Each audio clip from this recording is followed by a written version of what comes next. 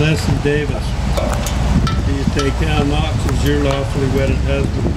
And do you, of your own free will and choice, covenant as his companion and lawfully wedded wife, that you will cleave unto him and unto him, and that you will observe all the laws, covenants, and obligations pertaining to the whole estate of matrimony, and that you will love, honor, and cherish him as long as you both shall live?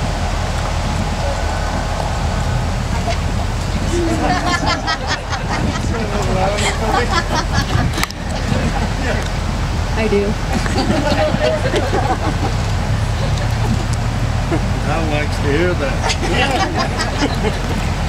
By virtue of the legal authority invested in me as an elder in the Church of Jesus Christ of Latter-day Saints, I pronounce you Al Knox and Leslie Davis, husband and wife, legally and lawfully wedded for the period of your mortal lives.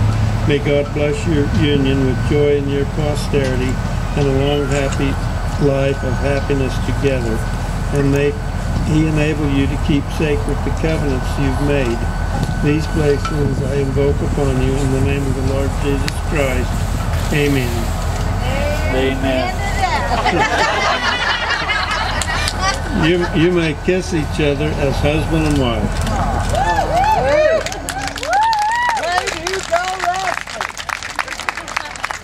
To!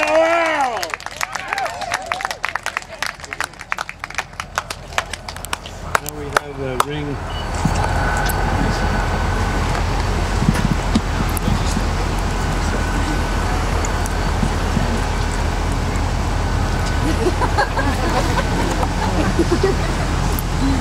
That's why you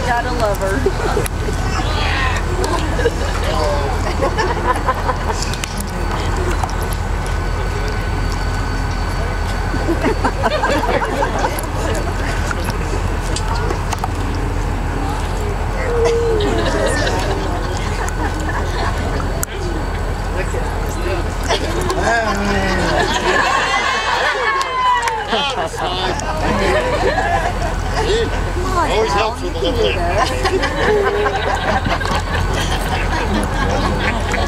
There you go. That's why you got a little. Thank you. That concludes our day, and I'm sure we've all appreciate being here.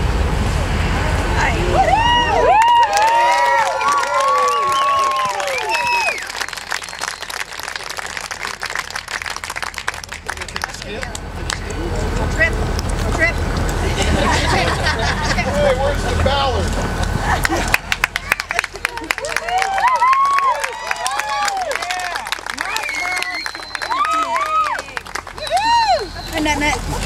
Mrs. Knox. This is nice. Hey. Wow. All right.